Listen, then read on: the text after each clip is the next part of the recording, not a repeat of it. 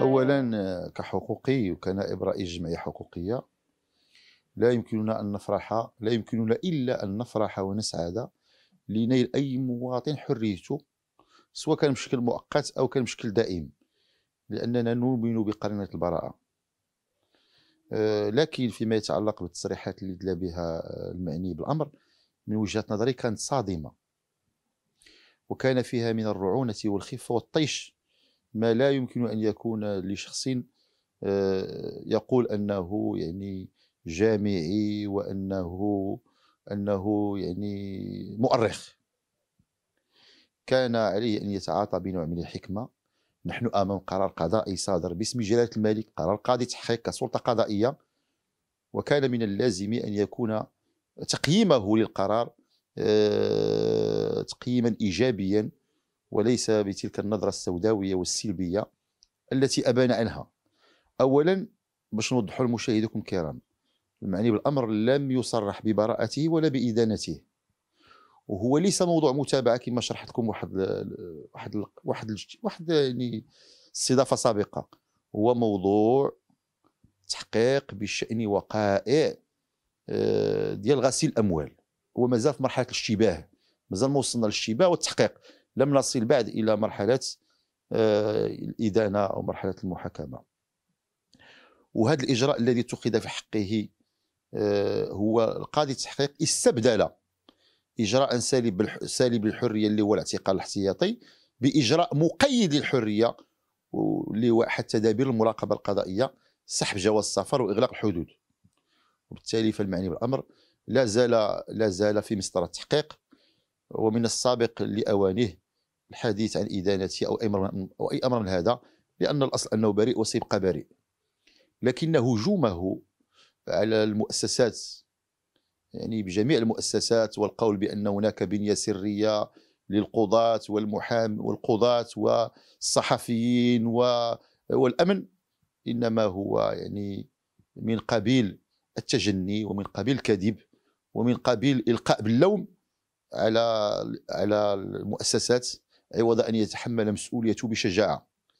أنا كنقول دائما كنت كنقولها له كنقول له هذا الهجوم هذا حبذا لو أنك نشرت وسائل إثبات براءتك ما دام البراءه هي الأصل.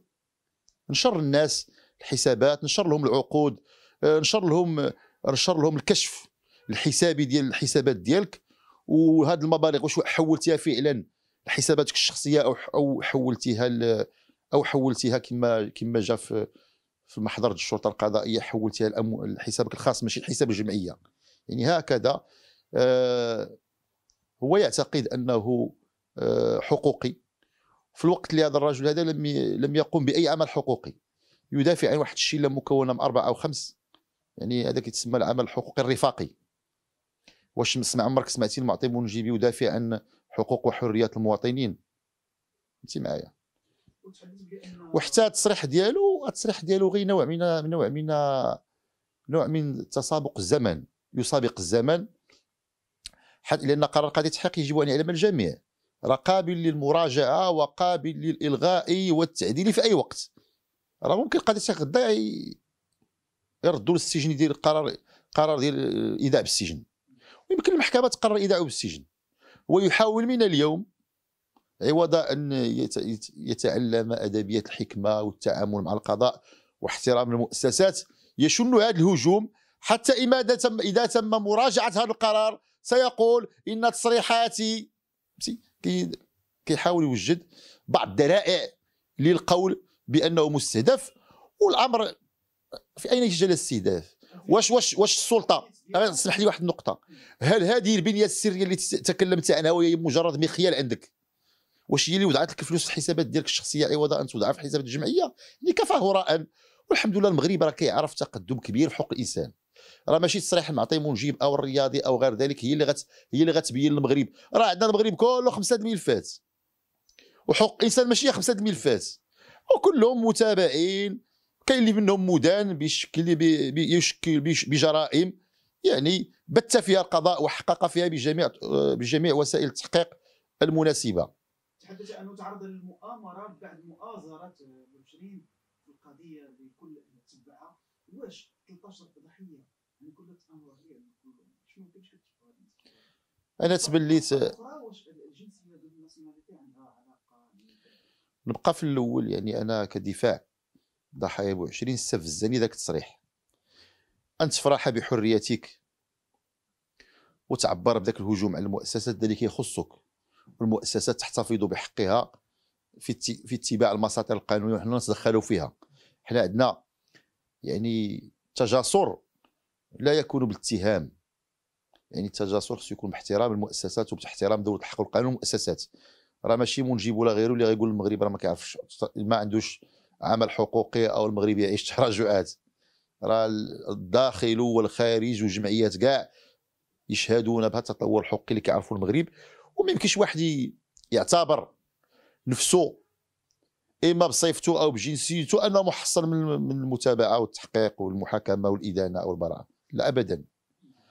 فيما يتعلق بالسؤال اولا كدفاع ضحايا ابو 20 استنكر بشده وهذا التصريح وحده يكفي أن السيد لا علاقة له بحقوق الإنسان. أن تهاجم الضحايا.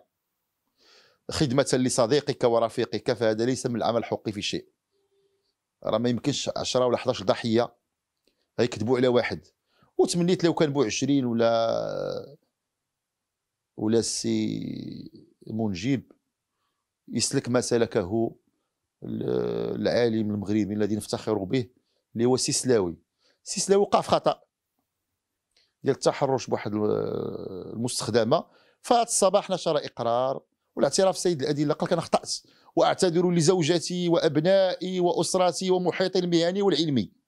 تجاوز ولا الاعتذار ماشي من الكبار. بالتالي هاد الناس اللي عندهم النية إنهم يصلحوا آه ما, ما, ما أقاموا به ويعتذروا. الآخر يمشي يعتذر الضحايا ويصلح. وكنظن راه ما كاينش شي ضحية غتمشي تمشي يشوف واحد الإنسان يعتذر ويطلب السماحة. حنا راه لسنا نقول لك أنا لست ضد أي شخص وأي شخص يتمتع بالحرية أو يتمتع بعفو ملكي. هذيك اختصاص المؤسسات نحترمها ولكن يجب أيضا احترام إرادة الضحايا. الضحايا يعني أصيبوا يعني هناك جروح لم تندمل بعد هناك مآسي ومعاناة نفسية لا زالت مستمرة إلى اليوم. وبالتالي من حق الضحايا الاختصاص القانوني. ولكن باش تجي تشهر بالضحايا وتكذب على حكم قضائي قرار قضائي صدر باسم جلالة الملك هو نهائي. ودابا الآن في مرحلة نقد وتكذب. يعني فهذا لا يستقيم وهذا من قبيل يعني الميوعة الحقوقية وليس العمل الحقوقي النبيل اللي كيهدف إلى الانتصار للضحايا الانتصار لحقوق المرأة وليس التجني على حقوق الضحايا وعلى حقوق الإنسان. ومعمر العمل الحقوقي كيعتمد عنصر القرابة أو عنصر الصداقة. العمل الحقوقي عمل محايد وعمل رصين. فيما يتعلق بالسؤال ديالكم الثاني أه واش الجنسية ديال ديال معطي منجيب ساهمت في منحه الصلاح المؤقت. كما نقول لكم. الصلاح المؤقت كيمنحو القاضي تبعا لظروف الملف ويمكن كيعتمد حتى الحالة الصحية ديال المعني بالأمر. وقاضي تحقيق مستقل. هو اللي قرر راه ماشي النيابة العامة باش يفهموا الناس. راه ماشي النيابة العامة اللي قررت ايداع المعطي منجي بالسجن راه قاضي تحقيق. لأنه قرار قضائي وممكن يتراجع عليه ويقرر رب ربما أنا كنشوف قاضي تحقيق راعى الحالة الصحية. وما يمكنش شي قاضي ولا شي محكمة ما تراعيش الحالة الصحية. ولكن ممكن يطرحوا واحد التساؤل. البعض كيقول لك ودي راه الجنسية الإضراب عن الطعام. اذا كانت الجنسية والإضراب عن الطعام هو السبب هذه راه فضيحة ليست بعدها فضيحة. ولا أعتقد أن القضاء غيسلك هذا الاتجاه هذا.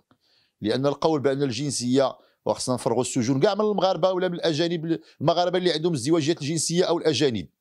وهذا لا يستقيم إحنا في الحق والقانون المؤسسات إلى غنقولوا ودي آه، الحالة الصحية راه عندنا عندنا عندنا شيوخ وعجزه في السجون. وعندنا ناس مرض بأمراض معديه وسرطانية وباقين في السجون. وبالتالي يجب إفراغ السجون من كل المرضى والعاجزين والنساء والحوامل واللي عندهم أولاد. بالتالي فهذا لا يستقيم نحن مع مراعاة. لا أعتقد أن القاضي أن قاضي له ضمير وأن كاين اخلاقيات العمل القضائي وكاين قواعد قانونية يحتكم إليها كتخضع على قانون المسطره الجنائيه لا أعتقد أنا أستبعد أن تكون الجنسية ربما تكون الحاله الصحيه ولكن ماشي بسبب الإضراب. يعني القاضي كلما عاين ولا ننسى أنا كنت قاضي راه 18 سنة. راه كتجي كتجي العواشر كيجي رمضان. كيجي العيد كيجي العيد الكبير العيد الصغير كيكون واحد النوع من التعامل بواحد الرحمة. نحن جبلنا على الرحمة. انت معايا؟ القضاة الأصل هو أنهم أبناء المجتمع ومن رحم من رحم خلقوا من رحم هذا المجتمع وكتأثر المناسبات الدينية والوطنية في في منح في منح السراح المؤقت. بضمان بضمانات. يعني راه راه هو راه عنده ضمانات. ما كنعتقدش أن رجل مثل معطي منجيب ما يكونش عنده ضمانات الحضور. يعني اولا راه القاضي راه راه سحب له جواز السفر وسحب له ودار إغلاق الحدود وهي إجراءات من شأنها أن تضمن آه، حضوره لجميع جلسات التحقيق والتحقيق معه. وأنا هذه مناشدة لجميع قضاة التحقيق ولا حتى النيابة العامة. أنا شخصيا آه، كان نآزر مجموعة ديال المتهمين. نعطيكم مثال حقوقي السدراوي في قنيطرة. نعطيكم مثال المراه الحديدية آه، في أكادير. نعطيكم مثال حقوقي الكبير المديمي وهذو ثلاثة الملفات يعني طلبنا الصراحه عشرات المرات ولم يستجب لنا علاش بالضبط معطي منجيب راه ما حنا ما تنعرضوش ولكن واش المديمي ماشي حقوقي كبير؟ السدراوي ماشي حق كبير؟ هذيك المرأة عندها 64 سنة غتموت في السجن. وتا هي دارت إضراب على الطعام علاش ما عطاوها الصراح مؤقت؟ بالتالي يتعين يكون هناك واحد التوازن في التعاطي مع الملفات وراه المواطنين عندنا وحدين. راه هذاك مواطن ومن رعايا صاحب جلالة من حقه أنه يتمتع. يعني يجب أن نضع آه، منح السراح الم- المؤقت للمعطي منجب في إطار سياقه القانوني والقضائي. واذا كانت الرحمة تكون رحمة على الجميع باش ما يكونش عندنا ازدواجية في المعاملة والكيل بمكيالين شكرا لكم. قبل ما تخرجوا ما تنسوش تابوناو في la chaîne يوتيوب. وبارطاجيو الفيديو وديروا جيم. وتابعوا الدار على مواقع التواصل الاجتماعي.